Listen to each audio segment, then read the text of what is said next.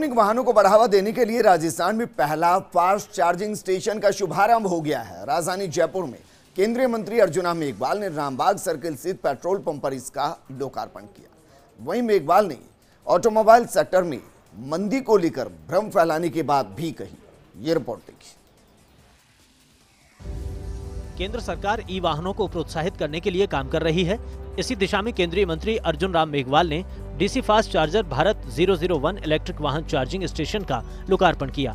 अब शहरवासी 90 मिनट में अपनी इलेक्ट्रिक गाड़ी चार्ज करवाकर 140 किलोमीटर तक चला सकेंगे। इलेक्ट्रिक वाहनों को प्रोत्साहित करने के लिए सरकार चार्जिंग स्टेशन लगाने के लिए बतौर सब्सिडी आर्थिक मदद दे रही है। हालाँकि ये मदद चार्जिंग स्टेशन से जुड़े उपकरणों की लागत पर निर्भर करेगी। पहले चरण में 1000 चार्जिंग स्टेशन लगाए जा रहे हैं। हर चार्जिंग स्टेशन पर छह चार्जर होंगे, यानी 6000 गाड़ियों को एक बार में चार्ज किया जा सकेगा। ऐसे में एक चार्जर से 24 घंटे में कम से कम 15 गाड़ियाँ चार्ज हो सकेंगी।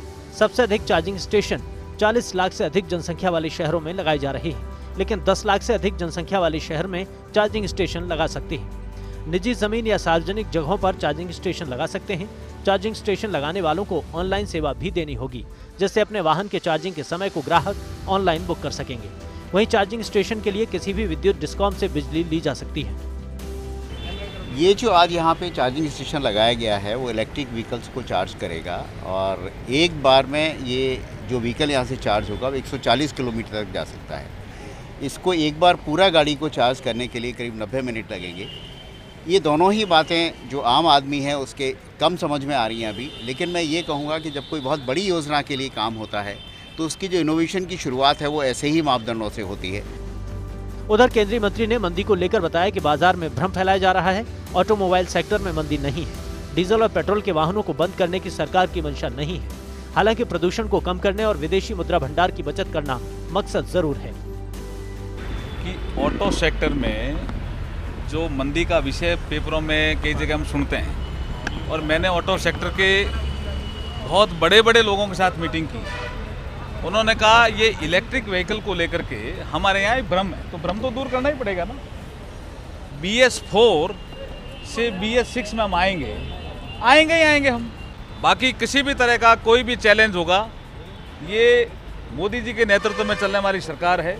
हम इकोनॉमी को किसी भी स्तर पे डाउन नहीं होने देंगे। मेघवाल ने चिदम्बरम मामले पर कहा कि बदले की भावना से कोई काम नहीं हो रहा। आईएनएक्स मीडिया एक बड़ा घोटाला है।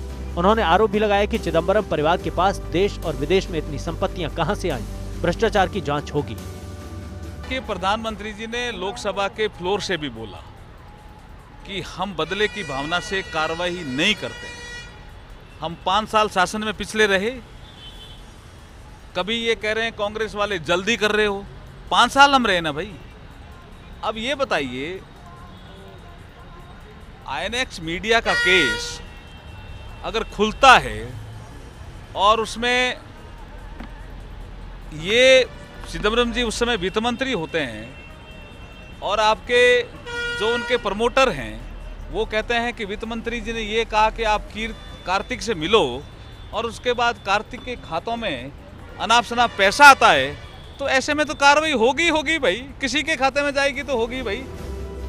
बहरहाल, इलेक्ट्रिक कारों के खरीदारों को फास्ट चार्जिंग स्टेशन के शुरू होने से थोड़ी राहत ज़रूर मिलेगी। Naveen Sharma, first India news, Jaipur.